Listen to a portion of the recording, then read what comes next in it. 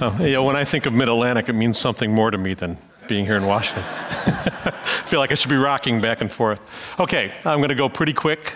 I just got a few things I want you to think about. Planet Earth, we need to understand it. I think we all believe that that's true these days with things happening with the environment and humanity. But you know, it, it's still unexplored. And how are you going to under, manage something that you can't understand? You can't understand it if you haven't explored it. We don't even know what's out there. Why? Most of it's underwater, and it's about two miles deep, average depth of the ocean. So that's a lot of water to get to get uh, through to be just to even find out what's out there under the sea. Um, and then there's this attitude, and you're, you're, probably many of you probably have the same attitude sitting there. I don't know why I don't care about the bottom of the ocean, but I don't. That's from the mid 70s. I'll tell you why now floods, hurricanes, droughts, tsunamis, um, climate change, uh, all those things. And more simply put, it's the air we breathe. About every other breath of air you take, 50% of the oxygen comes out of the sea. It's the food you eat. Um, billions of people rely on seafood, food from the ocean, and other food from the ocean, plus there's the climate effects on food production. It's the water you drink. About 98% of the rainfall on the planet comes out of the ocean. So the answer to that question is you better start caring about the ocean. And, you know, when this happened, Deepwater Horizon, we, we all got very interested in what's going on at the ocean. And, and this was a mile deep. Okay, so it was only half down to the average of the ocean. Greatest depth's about seven. And uh, here we had, uh, uh, I show it here as the Kraken, the mythical Kraken pulling ships down. But there was a monster loose at the bottom of the Gulf of, of Mexico. And you know, the fact that we can drive a robot around Mars, or we can, we can collect dust from the tail of a comet, and we couldn't plug a leak in our own backyard, it shows you what our attitude is about the sea. We take it for granted. So I want to show you a couple things. Well, I just want to show you this for starters. So you see the water there in the foreground. Some ripples in it. There's a little cliff on the right. There's a beach there in the back if you can make it out. Uh, so that's a nice little pool of water. It's the beginning of a pond. That's at the bottom of the Gulf of, of Mexico. So at the bottom of the ocean, we find lakes. And uh, so that, in other words, you're sitting in a submarine looking out the window of the sub at water at the bottom of the sea, super salty water.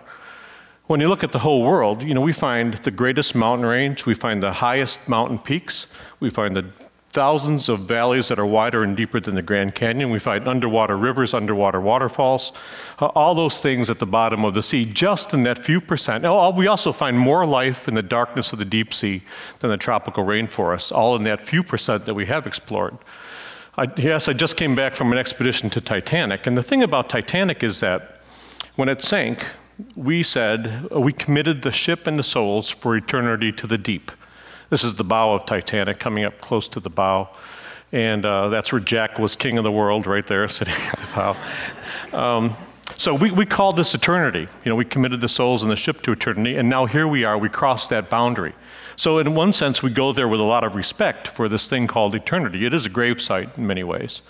In another sense, you know, it says something about our technology and, and our labeling of things, our very emotional way about, uh, about the way we look at things at the bottom of the sea. Um, this is where we're going with that. Instead of just pretty pictures and video, we're starting to build, uh, this is from 1986, we're starting to build a virtual Titanic. So we've collected the data, now we're starting to construct this world based on the real data. That's done by Ken Marschall, an artist. But we want to see the real thing, so when you want to explore Titanic, it's not just looking, uh, looking over Dave Gallo or Bob Ballard or Jim Cameron's shoulders, it's, it's actually doing it on your own. Uh, the planet, home sweet home, 7 billion plus people going up to 9 billion. You know, we do need to figure out what's at the bottom of the sea, or we're going to make the same mistakes that were made on Titanic. Let's go faster, faster, faster. Let's believe in technology will get us there, and that we're unsinkable. Okay, every time an unsinkable ship goes out on the maiden voyage, almost every single time, it goes down to the bottom. I'll show you one more thing. I, I call this a water planet and you're going to hear about this in the next talk too.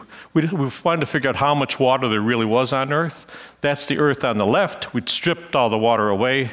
So if the Earth is the size of a basketball, you take all the water off the Earth, it fits into a ping pong ball.